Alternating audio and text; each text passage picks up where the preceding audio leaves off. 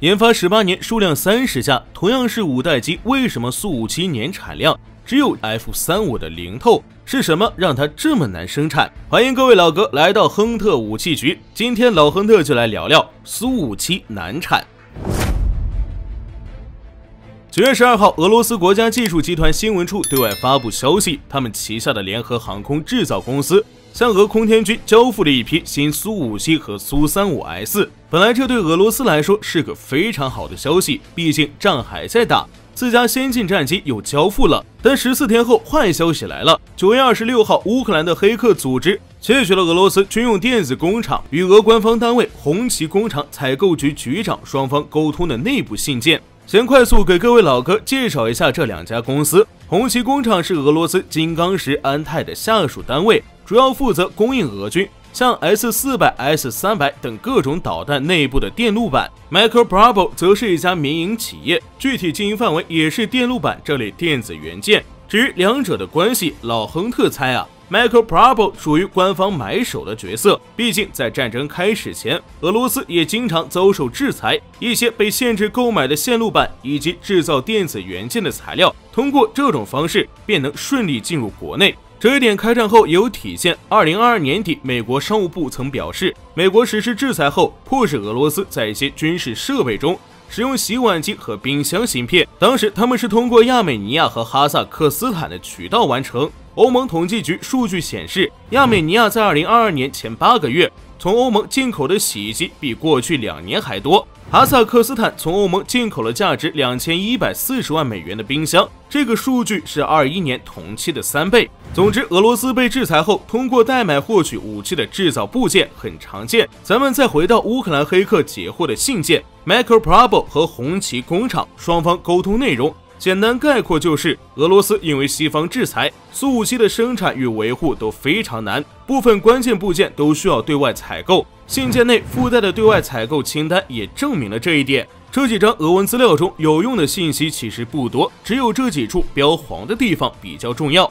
其中，WA 三六固定衰减器、EPS 三幺五零和 PLR 七六零幺二电源，属于苏五七机载雷达的重要部件。它们三个和其他小部件共同组成名为 MPPU 五零的高级电源管理。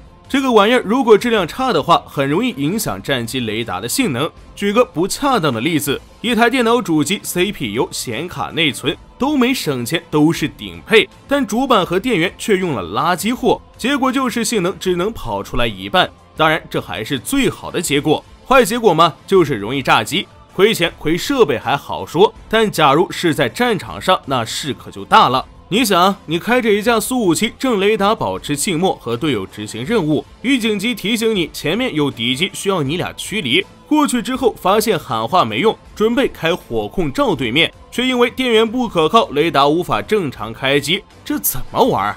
这也是为什么各国军事装备都重视可靠性的原因。至于资料中另一个重要进口设备，则是德国西门子的 KLE 三六零精加工车床，它主要用来加工苏五七机身个别比较精细的部件。不了解的老哥可能有疑问啊，俄罗斯精加工这么差？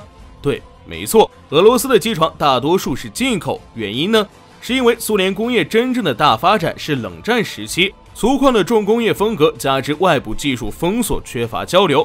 导致他们的精密制造业对比西方要差一些。后来苏联解体，经济不好，俄罗斯也没什么机会发展高端机床。值得一提的是，在此期间，具体点是一九八六年十月，发生了美苏潜艇亲嘴事件。它和这次苏五七需要买机床有点像。当时苏联核潜艇在大西洋里面经常被美军发现，基本是一抓一个准。而造成这种尴尬局面。主要原因就是潜艇螺旋桨加工的不够精密，噪音太大。为了解决这个问题，苏联也想了很多办法，但都不太理想，最终还是需要机床。恰逢当时日本的东芝在国内精加工领域干不过山崎、马扎克、天田啊这些公司，为了获得国外订单，于是俩人就联系上了。起初，东芝顾虑非常大，因为在冷战背景下，对社会主义国家出口敏感物资要受到巴黎统筹委员会。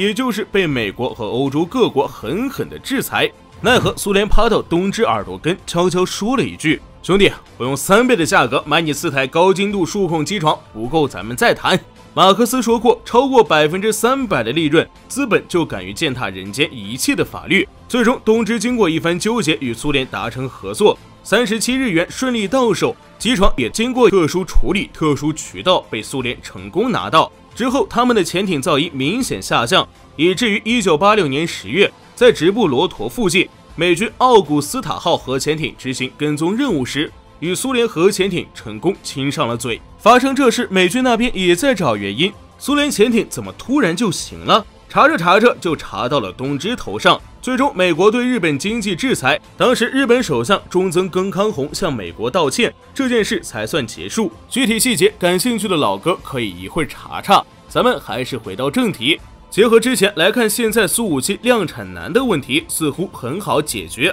就看谁顶得住制裁呗。但实际上并不是。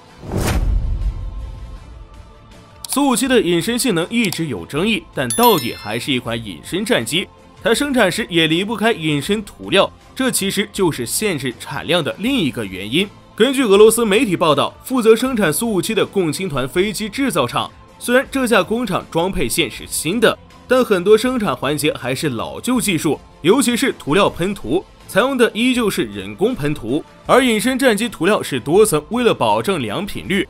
他们采用喷一层等一层的办法，一层涂料喷装完毕后，需要等涂料固化，并对各项数据进行检测，达标后才会喷下一层。再加上苏五七体型对比隐身战机更大，因此这个环节浪费了很多时间。有些老哥可能感觉这也没什么，人工喷涂应该会更细致，但没有对比就没有伤害。隐身战机百分之十到百分之二十隐身性能来自涂料，为了保证性能最优。涂料厚度的公差要求必须控制到非常小，在这种前提下，人的可控性不如机器，良品率也会下降，返工次数增加很多。为了解决这个问题，洛马在生产 F 三五时特意开发了 RAFS 喷涂系统。这种喷涂系统简单点说，就是三个体型比较大的六轴喷漆机器人，主要负责 F 三五机体。像评委、垂尾等其他众多小零件，则由名为 RCFS 的喷涂机器人完成。这两套系统早在2008年6月便已经安装并投入使用。看完这个，再对比一下，大家应该了解苏五七差在哪儿了。都生产五代机，你还在用老技术，速度自然会慢很多喽。那么苏五七产量低，这事儿有没有办法解决呢？以俄罗斯现在的经济状况，找盟友合作生产无疑是最优选。但了解苏五七研发过程的老哥应该知道，最冤的大头啊呸，最优合作国印度已经被坑得退出群聊，就差删好友了。这架战机和苏五七非常像，但它就是苏五七。好了，不开玩笑，它其实是苏五七原型机 T 五零。研发时间可以追溯到二零零零年，当时俄罗斯受了美国 F 二的刺激，需要尽快开发自己的隐身战机，但又囊中羞涩，因此他们就找上了军购副歌印度空军，搞了 T 五零工程。印度项目编号 FGFA。本来印度同意一起搞，是因为俄方愿意共享隐身战机技术，但期间俄方不仅拖着技术没给转让，还在一直追加经费，最后一次直接给印度发去一份追加资金的报告。说老弟呀，这隐身战机要攻克的技术实在太多，老哥也没想到能这么难。这样，你再加二十亿，这事儿一定能成。印度那边一听这个也反应过来了，我前前后后打了五十亿，再加二十亿。要是加上生产，这不奔着一百亿去了？当即决定中途下车。然而就在印度退出不久，T 五零就首飞了，名字也改成了苏五七。总之啊，有这前科，老亨特认为印度应该不太会愿意再当冤大头。而环顾周边，其他国家似乎也不太需要这款战机。不过话又说回来，既然苏五七研发没花自己的钱。那四舍五入就等于没花钱，倒不如找现成的战机直接买。好了，本期视频到此结束，老亨特撤了，各位老兄记得点关注哦。